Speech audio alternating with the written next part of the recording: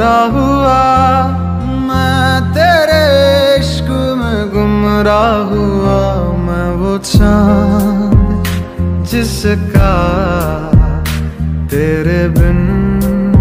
ना कोई आसमां, मैं वो चाँद जिसका